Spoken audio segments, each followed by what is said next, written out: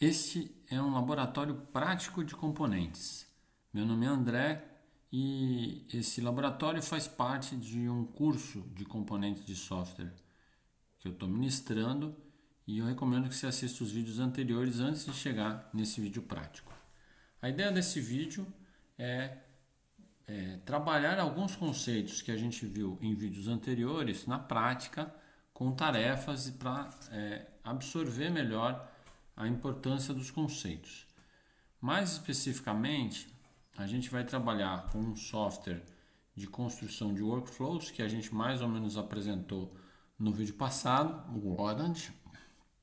E dentro dele a gente vai destacar a característica de quando a gente usa uma arquitetura Dataflow, componentes são intercambiáveis. Então, como eu já falei, o nosso ambiente é o Orange certo? E é, o que, que é o Orange? Só lembrando, eu falei um pouco disso no vídeo passado, ele é um ambiente de workflows para gerenciamento, construção, execução de workflows, que são aqueles modelos que permite que você é, coordene atividades que transferem dados umas para as outras num fluxo de dados, né? Se você quiser saber mais detalhes sobre workflows, tem esse vídeo aí que eu vou colocar na descrição que vocês podem assistir, onde eu apresento em detalhes o conceito de workflow em 8 minutos. E agora vamos falar sobre o Orange. Eu já tinha falado teoricamente sobre o Orange, vamos ver agora ele na prática, funcionando. Não é? Então, para isso, a gente vai primeiro explorar o ambiente do Orange. Eu estou imaginando que você já assistiu um vídeo meu anterior a esse, que eu ensino como é que instala o Orange. E eu dou a primeira visão né, dele funcionando. E aqui agora eu vou trazer uma tela do Orange. Né? O que, que vocês vão perceber? Vamos explorar o Orange. Aqui à esquerda eu tenho é, um conjunto de componentes, né? e é por isso que eu escolhi o Orange, tem esse, essa ideia de componentes que executam certas tarefas dentro do workflow. E esses componentes eles são categorizados. Você pode inclusive recolher e expandir aqui essas abas de categorização, tá vendo? Por exemplo, ele tem um conjunto de componentes que lida com dados, né? principalmente recuperação de dados e algumas coisas básicas com dados. A gente tem elementos que fazem, componentes que fazem a transformação desses dados no processo. E eles trabalham entre eles muito naquela lógica de data flow que a gente falou no vídeo passado. Então eles vão receber um conjunto de dados, transformar e gerar um outro conjunto. Uma boa parte deles é simétrico, a gente vai discutir isso de novo. Tem componentes para visualizar coisas, né? Você visualizar gráficos e outras coisas do seu workflow. É, tem aqui é uma parte de aprendizagem de máquina onde você pode criar modelos, pode avaliar esses modelos e você tem aprendizagem de máquina não supervisionada. Você pode acrescentar outros plugins aqui que eu não vou entrar em detalhe, como esse para trabalhar com texto. Então, o importante aqui é você entender que o Orange ele trabalha com componentes e ele organiza, né, categoriza, como essa tela aqui sumariza, esses componentes, certo? Então, para a gente começar a fazer alguma coisa no Orange, vamos começar com um caso de estudo. E nesse caso de estudo, eu quero voltar àquela história que eu tinha trazido para vocês de recomendar novas receitas. Então, nossa ideia é que você tem uma receita do pesto tradicional, mas você faz estatística, sabe que as pessoas consomem muito tomate seco e você quer propor um pesto de tomate seco. Né? Você quer um software que dê suporte a essa ideia de recomendação. A gente tem também esse diagrama que eu mostrei para vocês em vídeos passados, mostrando de onde eu coleto os dados e o que eu pretendo fazer, não é? Coletar dados de, receitas e dos seus respectivos produtos, monitorar o consumo desses produtos e as compras e receitas e na medida que eu percebo que tem certos produtos que são destaque no processo, quero recomendar a construção de novas receitas com eles. Mas o que a gente vai ver nesse vídeo é, é só uma parte, a gente vai é, analisar uma parte desse problema. A gente não vai trabalhar ele todo. Na verdade, eu vou é, usar dados é, de um banco de dados norte-americano, What We Eat in America, que é, tem alguns, algumas características interessantes, como por exemplo, eles fazem toda uma estatística que é, controla ou que monitora o consumo de alimentos nos Estados Unidos. Né? Então, essa ideia de consumo de alimentos está muito alinhada com o que a gente propôs nesse vídeo de é, trabalhar consumo. É claro que o propósito deles é diferente do nosso, que eles estão controlando saúde, etc. A gente estava querendo sugerir novas receitas, mas o modelo dos dados segue a mesma linha. Tá? E eles também guardam é, receitas que são típicas, né? consumidas tipicamente nos Estados Unidos. O endereço é esse aqui, tá? E deixa eu dar uma mostrada aqui nesse site What We Eat in America, tá? Então vou trazer aqui o navegador e você tem aqui, né, receitas que são consumidas. Depois a gente vai entrar nessa seção de receitas no próximo vídeo. E aqui tem um Consumption Calculator que consegue é, pegar um produto X, né? E eu gosto de escrever aqui sempre esse Potato chips, por exemplo, você quer controlar com o consumo de batata frita. Você pode adicionar aqui na direita, né? aí você pode ir, né? Proceed to você pode filtrar por faixa etária, por exemplo. Consumo de batata frita de 1 a 5 anos de idade, vamos ver. Aí você pode submeter e ele vai mostrar, aqui tem como você quer o seu relatório, e ele vai mostrar as, os percentuais de consumo. Então ele tem todos esses dados, eles fizeram uma estatística enorme com milhares de pessoas, né? E usam esses dados para poder fazer estudos e análise sobre o consumo de produtos nos Estados Unidos, tá? Então esse vai ser o tema que vai estar por trás do nosso estudo aqui. E é, para trabalhar com esse estudo, com Orange, como a gente vai ver aqui, é, tem dois tem lugares onde você vai buscar os dados. Né? Então, eu tenho um repositório que é esse aqui, github.com Lab to Learn. Se você abrir esse repositório, você vai cair nessa página aqui, olha. O Lab to Learn é um repositório que eu tenho onde eu guardo é, principalmente material ligado à parte de análise de dados, etc. Né? Nesse caso aqui, ele vai ser importante, porque esse nosso primeiro estudo de caso que a gente está fazendo com componentes, a gente usa dados. Né? Eu tenho uma pasta data aqui, tá? onde eu guardo vários repositórios de dados que eu uso aqui na disciplina. E especificamente aqui você vai achar food intake.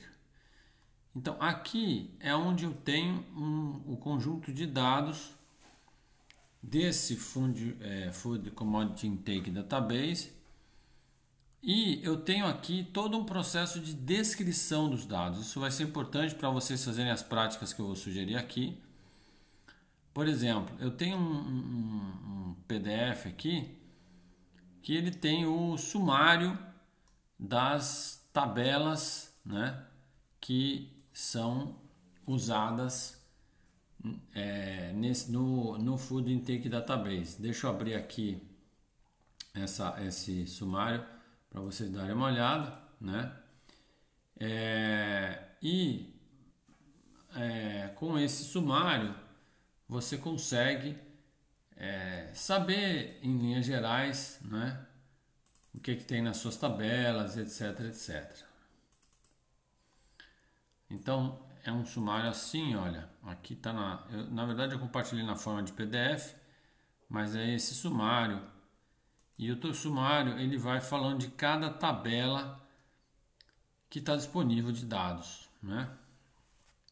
Então é, a gente tem, por exemplo, uma das tabelas que a gente vai trabalhar aqui nesse vídeo é essa tabela aqui chamada perfis de produtos alimentares. O que, que essa tabela tem? Ela é uma espécie de estatística, né? Então, a gente tá com ela aqui também, no, nos slides aqui que eu estava apresentando. Ela é uma estatística, bom, eu tenho uma tabela de receitas, essa tabela a gente vai ver depois, mas nesse aqui eu estou interessado nesses perfis, o que, que eles têm. É, esse aqui foi uma sumarização que eu fiz, na verdade, é, onde eu peguei e, e para cada produto alimentar que é estudado, né, eu fiz algumas análises estatísticas que podem ser interessantes para o trabalho que a gente vai fazer aqui. Por exemplo, é, eu pego esse FCID Code descrição, é o código e a descrição dos produtos. Né? E esse CGN e CG subgrupo é grupo e subgrupo desses produtos. Então eles têm códigos de grupo e subgrupo. Daí eu fiz as seguintes estatísticas. A primeira é a popularidade. Então, foram nesse estudo foram é, é, estudadas ou entrevistadas 62.160 pessoas. A popularidade de um certo alimento é quantas dentre essas pessoas que foram entrevistadas consumiram esse alimento, tá? É, depois tem o, que a gente chama de intake. O intake ele é medido em quantas gramas se consome daquele alimento por pessoa, não é?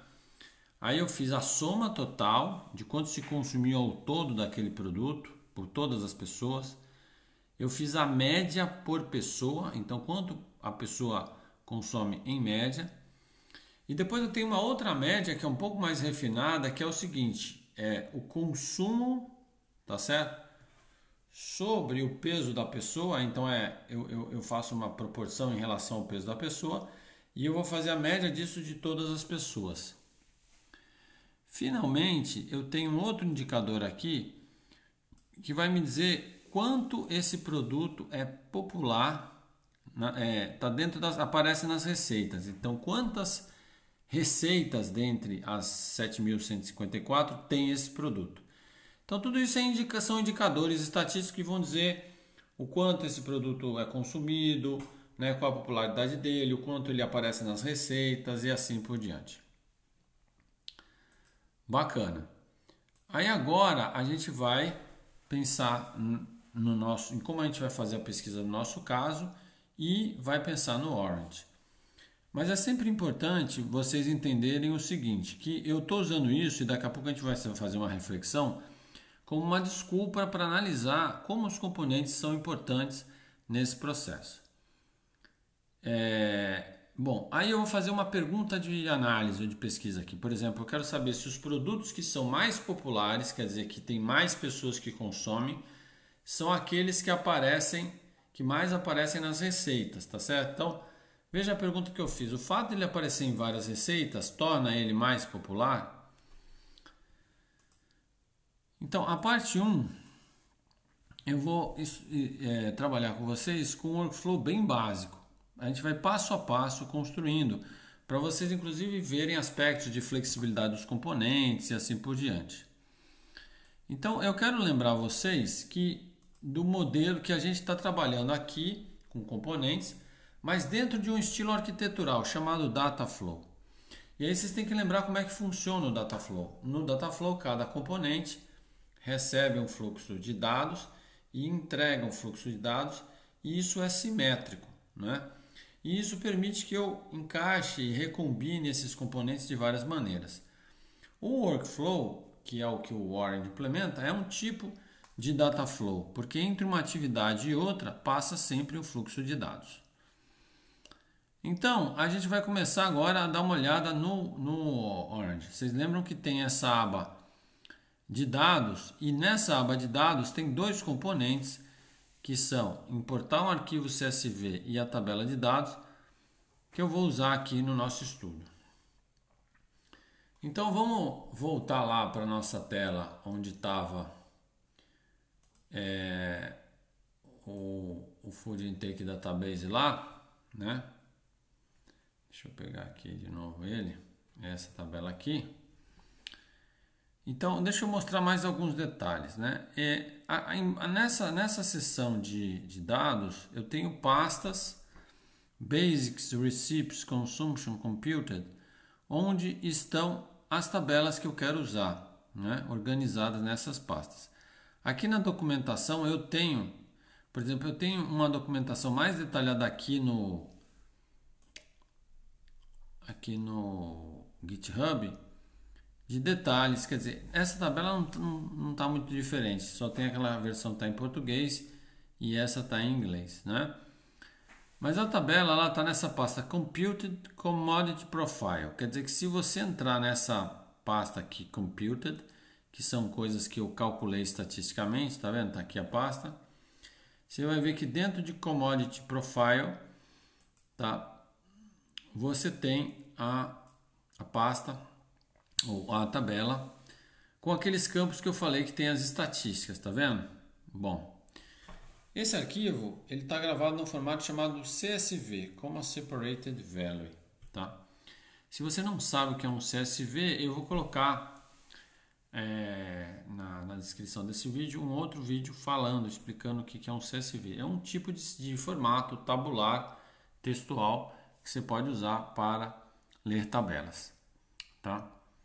Então, o que, que vai ser a nossa tarefa? Eu vou voltar para o Orange. E aqui no Orange, a gente vai considerar duas coisas. Primeiro, eu vou pegar uma aqui em Data, tá vendo? Eu vou pegar esse CSV Import. O que, que ele vai fazer? Ele vai trazer para mim é, algum arquivo CSV, certo? Nesse caso, eu quero pegar especificamente aquele arquivo que tem é, é, que eu falei product é, não é consumption não product profile eu acho que eu chamei. Tá aí vocês estão vendo que aqui se eu apertar o F2 ou se eu clicar com o botão direito e pedir rename ele permite que eu mude o nome aqui é muito importante nos workflows que você documente o que você está fazendo essa é uma das funções dele inclusive né então o que eu fiz eu cliquei aqui ele traz para cá o componente e eu documentei.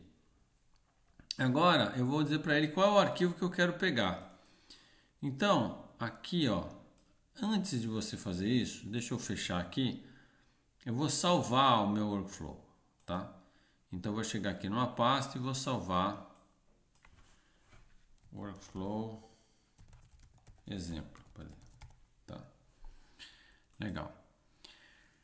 É, eu, na verdade, salvei numa pasta do Lab to Learn que eu reservei para colocar os workflows. Então, aqui, se você voltar para o Lab to Learn e for para a pasta Workflow, você vai encontrar essa pasta reservada para os workflows. E aqui você vai encontrar o Food Intake. Nessa pasta Food Intake, você vai encontrar alguns workflows que eu estou apresentando aqui e também uma cópia de todas as tabelas. Eu boto tudo na mesma pasta porque o Orange ele consegue referenciar arquivos que estão na mesma pasta. Isso fica mais portátil, né? Então, é, eu salvei o meu workflow nessa pasta que fica mais fácil. E aí, na hora que eu abro aqui, eu posso dizer que eu quero importar algum arquivo que está na mesma pasta que está o meu workflow, que é esse Relative to Workflow File. Note que aqui eu tenho aquelas pastinhas que eu descrevi lá, que são Basics, Computing, Consumption, Receipts. E nessa pastinha Computed tem lá o Commodity Profile, que é aquele arquivo que tem as estatísticas dos produtos. Né? Então eu vou pegar esse aqui, aí ele vai apresentar para mim, na verdade ele não apresenta desse jeito. Aqui eu vou tirar tudo, só para você ver como é que ele apresenta. Então ele vai apresentar a tabela com as colunas, e as colunas são aquelas que eu descrevi lá para vocês, que estão lá na documentação. E ele pede para eu, ele pode automaticamente detectar, detectar, o tipo da coluna, ou eu posso dizer, não é? Por exemplo, é, aqui você clica com o botão direito, ele vai te perguntar, isso é um número, isso é uma coisa que tem categorias, é um texto, é uma data e uma hora. Bom, eu gosto de dizer que esse código, como ele né? cada código poderia ser considerado um, um possível valor. Porque a ideia do categórico é quando você tem um valor entre uma, um conjunto de possibilidades. Nesse caso do código, é, eu vou achar interessante colocar ele como categórico, tá? apesar de, de cada linha praticamente ser um código diferente, mas mais para frente vocês vão ver que eu tenho algumas vantagens em classificar aquele como categórico. E como consequência, se o código é categórico, a descrição eu vou dizer que é categórico também. Eu não sei se vocês lembram, mas esse aqui é o grupo e o subgrupo, tá? Do produto. Então eu vou botar como categórico. Bom, essa coluna aqui é a popularidade, tá? Então eu vou clicar aqui com o botão direito e dizer que ele é numérico. Esse aqui também é quanto foi consumido do produto, a média de consumo, a média de consumo pelo, de acordo com o peso e em quantas receitas ele está.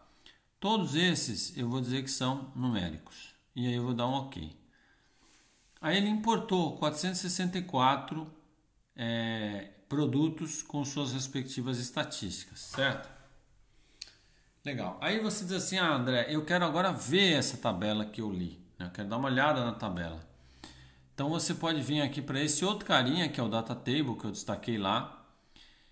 E agora que é interessante, note isso. Basta eu clicar aqui que ele já traz lá para o lado de cá o componente que eu quero, tá? Agora entra a parte interessante, que é o seguinte. Eu vou ligar a saída dessa atividade para a entrada dessa. Então aqui você vai, ó, tem um, eu clico aqui, aí puxo esse fiozinho e encaixo aqui. Aqui tem uma coisa interessante que é a representação do workflow, né? No workflow, toda atividade vai gerar um conjunto de dados que vai ser consumido pela atividade seguinte, que é o que está acontecendo aqui. A atividade seguinte, ela mostra a tabela que eu importei, tá vendo? Então eu consegui fazer, vamos dizer assim, um visualizador de tabela rapidinho, certo?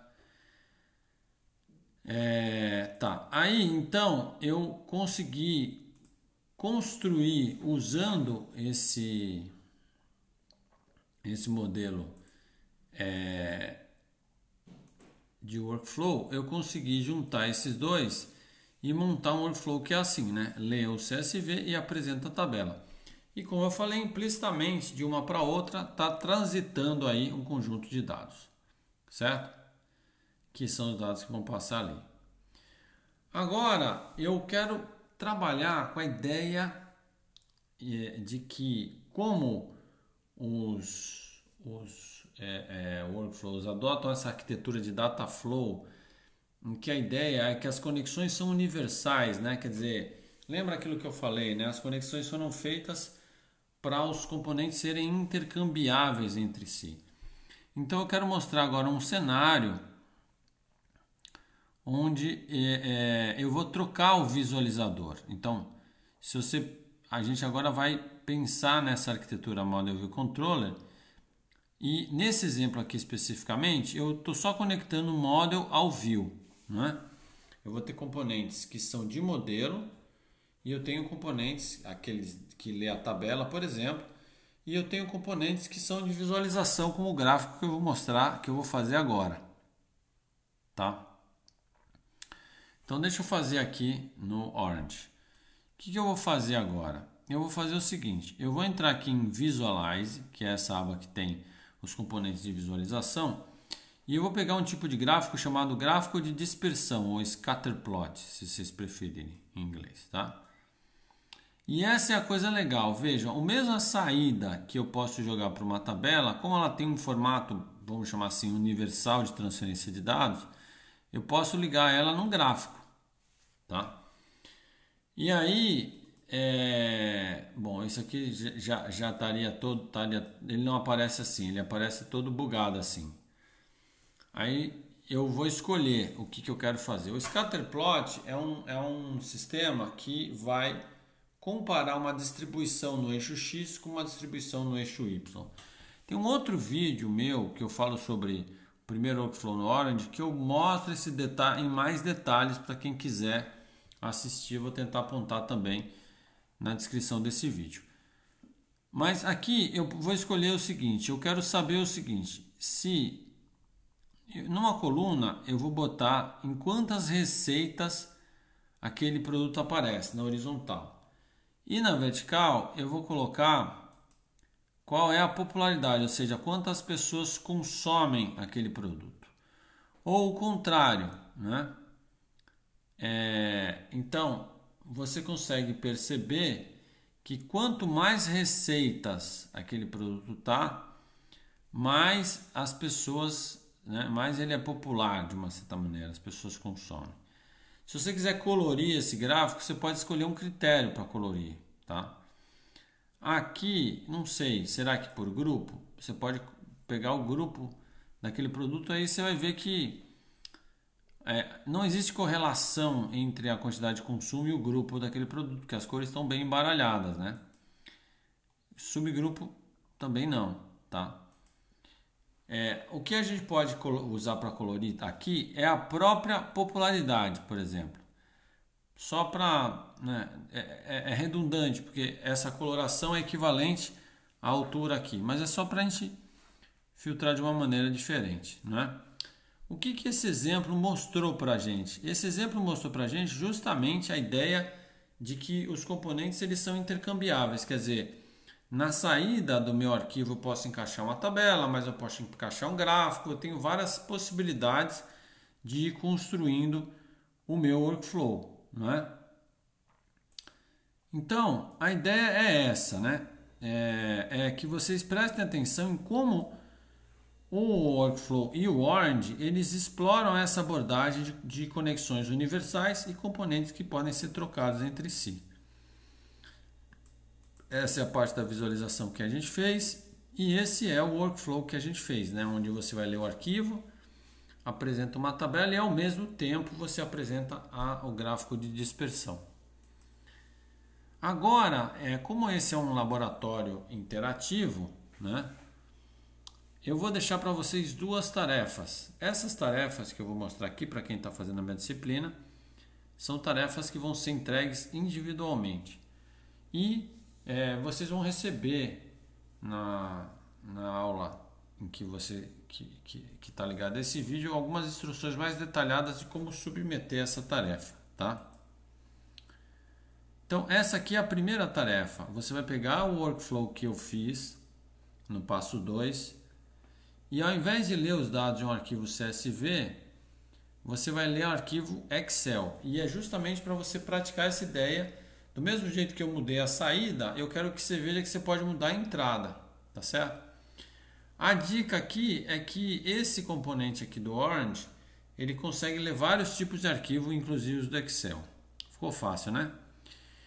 A segunda tarefa ligada a esse vídeo é que eu quero que você escreva uma pergunta de pesquisa, que nem eu fiz uma pergunta, e você vai elaborar um, um um workflow que vai ler esse, esse arquivo de receitas, o arquivo de receitas, que é um outro arquivo que tem as receitas, e você vai construir algum tipo de visualização relacionada às receitas, você que vai escolher. Mas o gráfico não pode ser o de dispersão, porque esse eu já usei. Então tenta pensar em um outro gráfico. É só para a gente praticar essa ideia de que você pode ir reconfigurando os componentes e fazendo as coisas, tá certo?